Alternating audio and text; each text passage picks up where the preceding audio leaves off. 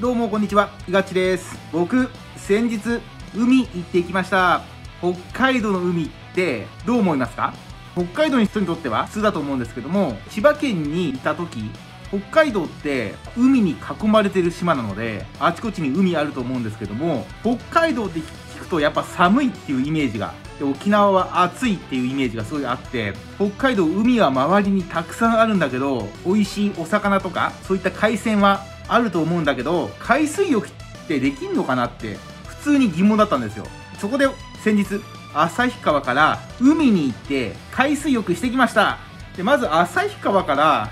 海に行けるのか？まずそこが疑問だったんですよね。旭川って北海道の本当に真ん中にあって周りに海ないんですよね。北海道自体は海に囲まれているんですけども旭川って大きな市なんですよ。すごい大きな市で周り海に面してないんです。山です周り。関東でいうと千葉県とか神奈川県って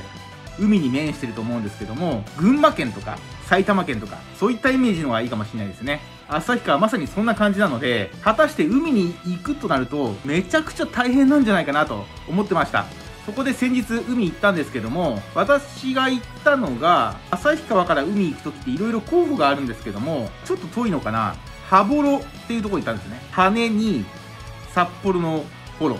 て書いて羽幌と読むんですけどもそこに行ってきました。地図出しますね。こんな感じのところですね。距離で言うと130キロから40キロぐらい旭川の市街地からかかりました。車で2時間半ぐらいかな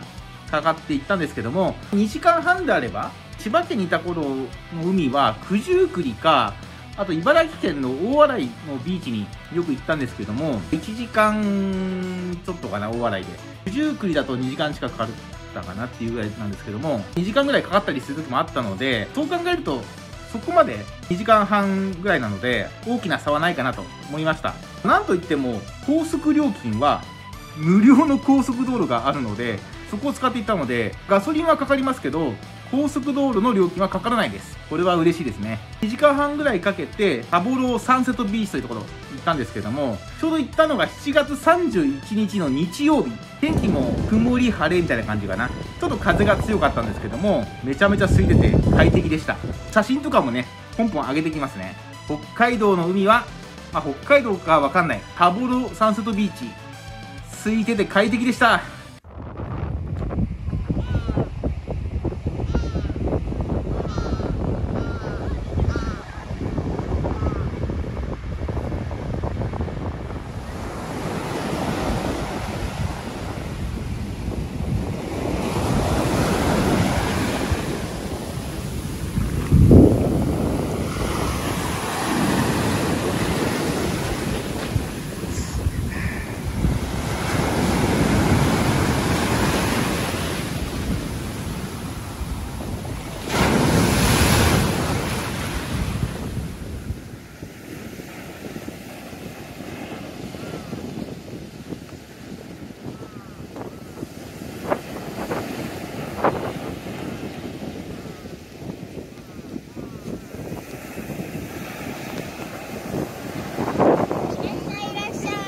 いや海っていうとめちゃめちゃ朝早く行って場所を取らないと人だらけでゆっくりできないっていうイメージが強かったんですけど気持ちよかったですね。日帰りも全然できる距離なんですけど7月31日と8月1日と泊まっていきました。パボロサンセットビーチのすぐ近くにあるホテルそこに泊まって次の日の8月1日の月曜日めちゃめちゃいい天気。この日の午前中も海で遊んでそれで帰ってきました。非常に楽しかったです。北海道って行くと冬のウィンタースポーツ？そういうイメージが強いんですけどもまさか夏に海水浴で海で遊べるなんて。いやーよかった。なのでこれから北海道に移住しようかなと考えてる方安心してください。夏は海で遊べます。ということを伝えたかったんです。去年もう夏私旭川で過ごしたんですけども去年まあ移住したばっかだったんで慌ただしかったんで海に行くっていうところは考えてなかったんですけども北海道の海ってどんな感じなのかなっていうのも気になったんで行ってきました。羽幌サンセットビーチは先ほど言ったように130キロから140キロで2時間半ぐらい車でかかるんですけどもそこよりも近くに海あります。旭川からであればその手前に小平っていう町がありましてそこのビーチのが旭川から近いです。あともっと手前に留萌っていうとこもありましてそこだったら2時間かかんないんじゃないかな。そんな感じで行けます。北海道特に旭川の夏は非常に暑いんです。なので夏は海で楽しく遊びましょう。あとさっき海が空いてるって話したんですけども海で気軽にこういったバーベキューですとかスイカ割り楽しんだんですよね。スイカ割りせーのあんまり力入れるな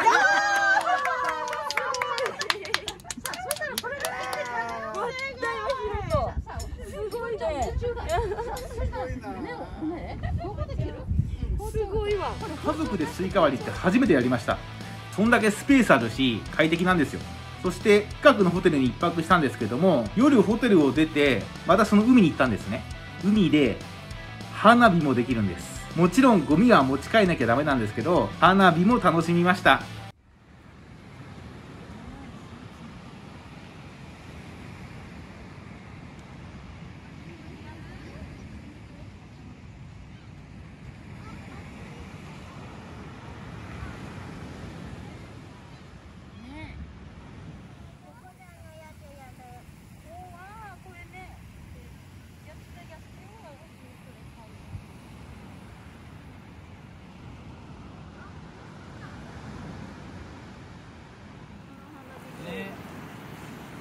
いいじゃん。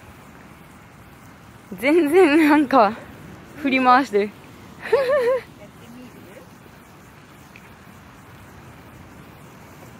久々にやった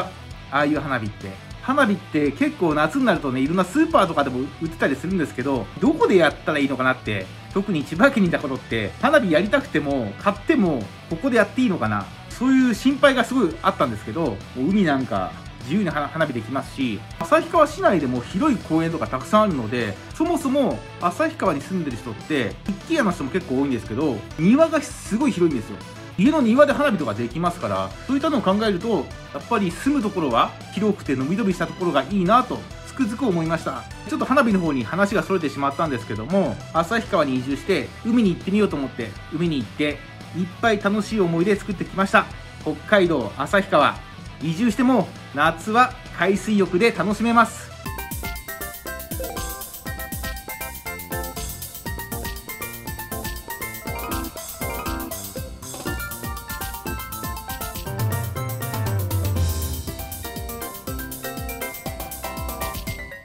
ちなみに、私のこの後ろに早速貼ってあるんですけど、前回動画で旭川から旅行で野サップ岬行きましたっていう動画の時に、道の駅によって、道の駅でガチャガチャ息子回してたくさんピンズ出して集めてましたけど、だいぶ溜まってきました。ちょっと今お見せします。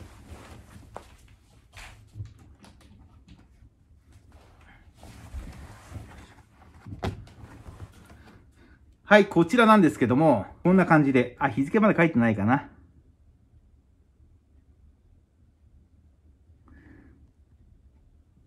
こんな感じで、ピンズがね、溜まってきました。今回の海の旅でも、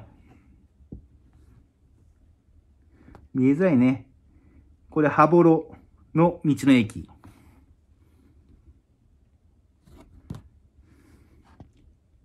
ルモイの道の駅とか。こういうね、ガチャピンズ、まあ、貯めているので、これから、旭川もそうですけど、北海道いろんなところに行ってみたいと思うので、そのために道の駅でガチャピンズ回して、これ集めていきたいと思います。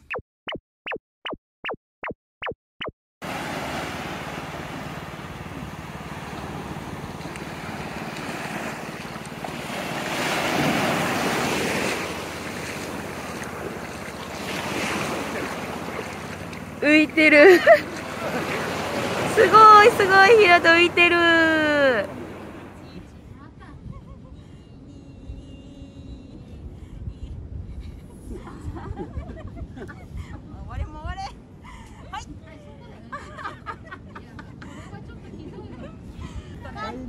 まっすぐまっすぐはいまっすぐまっすぐちょっと呼んで呼んでこっちこっちこっちこっちこっち右が左左はいまっすぐこっちあちゃいだまっすぐ。こっち。そこ。こっち行くよ。いいよ